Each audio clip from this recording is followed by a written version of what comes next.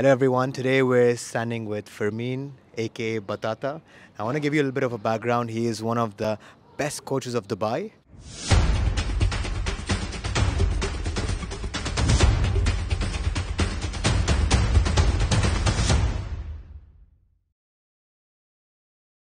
Fermin, uh, tell us when did you start playing padel tennis? What got you into it? A little bit about yourself. I started padel as a very young age. I was uh, only four. I started as a hobby, of course, playing as a kid with my dad, and I started because of that. Like my bo- both parents, they used to play in Argentina, and then I started just for fun, and then it became more like my passion, and then after a few years later, become my job as well. Generally, how easy or difficult it is for somebody new to start this sport?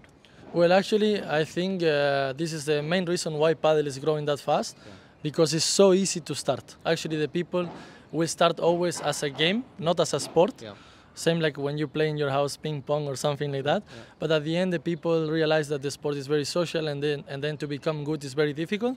So I would say it's super easy to start. Everyone can do it, even if you don't have any racket sport background. At what age can you start your children to start padel tennis? And also, is there any age limit?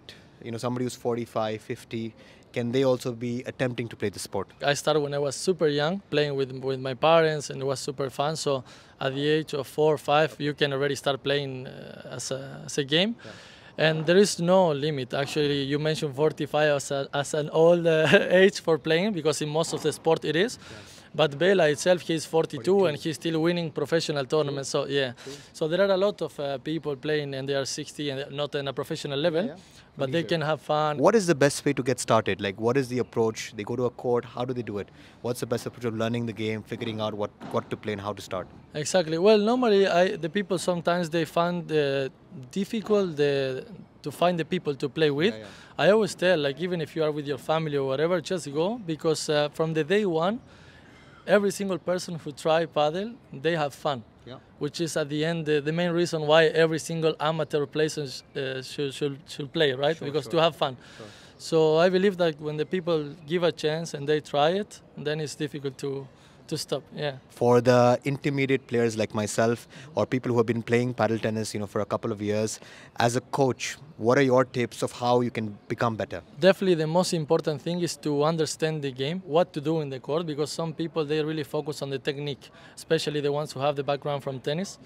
And being honest, the, the technique in padel is not that important. So um, I definitely recommend the people in the intermediate level to watch a lot of tournaments and see how the, the good players uh, do the right job and try to understand more the tactics of the game. This definitely help you to increase your level.